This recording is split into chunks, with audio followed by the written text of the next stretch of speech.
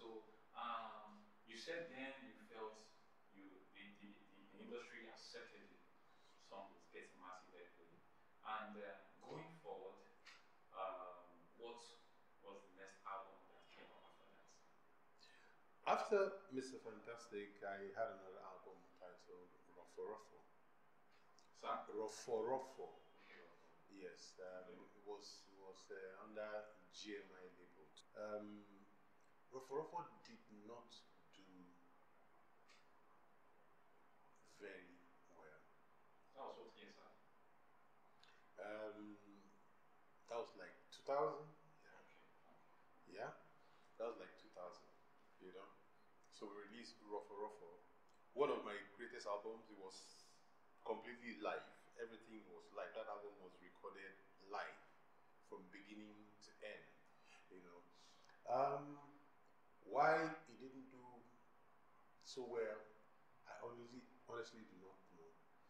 Uh, but some people will say that it's because most times uh, um, I do not follow trend. Okay. I do not follow trend. You know, this is what is trending. That's what everybody's doing. So uh, everybody's jumping. I'm, I'm hardly like that. And and when and if you do not follow trend, it's difficult to get airplay in Nigeria at that time. Not like now that we have internet and, and all. Then, you know, radios want to play things that they believe are popular, things that are everywhere, you know.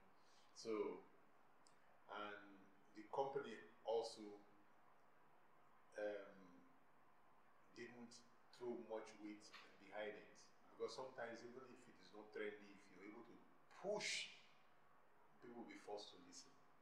Of course, in 2002, I released my biggest album so far, Unchained. If you listen to Mr. Fantastic, yeah, Mr. Fantastic, Mr. Romani, as I said, I did the storyline as in your song most times when I hear it, hmm. aside from when it comes to the Unchained album, like a jingle. I don't know if I'm wrong.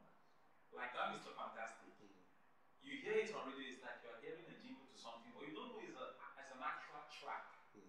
So I don't know, how do you put your song together?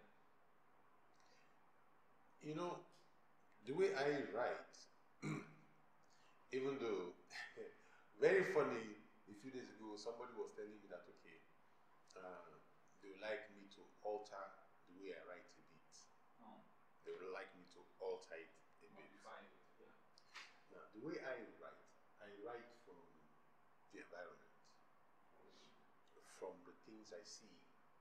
I want to tell you a story. I want to connect with you, and I want you to follow me, follow my storyline.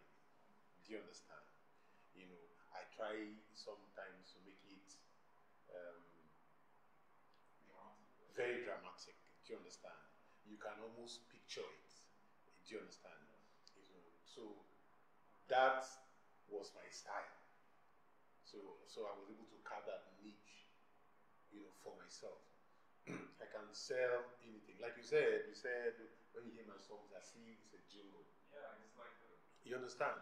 Maybe, maybe yes, maybe my my background probably also influenced the way I started writing my own songs. For instance, now if you want to sell a phone, you have a new phone in the market and you want to market it, you call me to do a jingle for it. I ask you a few questions about the phone, what it can do. Mm. Then I'll go and sit down and put a script together. I have to sell that phone in 30 seconds, 45 seconds, or maximum one minute. Do you understand? So I need to tell a story that will get you interested in that phone. Maybe you want to take another look at it again. Do you understand? So maybe that also affects the way I write my songs. You know, I want to carry you along.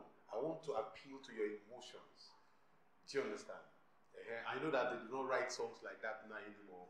People just want to party and dance and they don't want to think. You understand?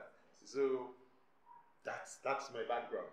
So someone is saying, people are saying to me now that, okay, Yes, you like telling stories in your songs.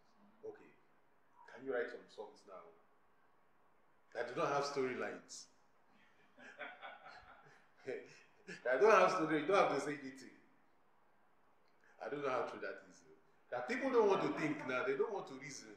They just want to dance. Can you just? You just want to dance. Kind of hook and uh, just a hook and beat. yeah. Eh-heh, that people don't want to. You understand what I'm saying? But uh, that's where we are now. Mm. I don't know if it is true or not. Uh, but um, let's see how it goes.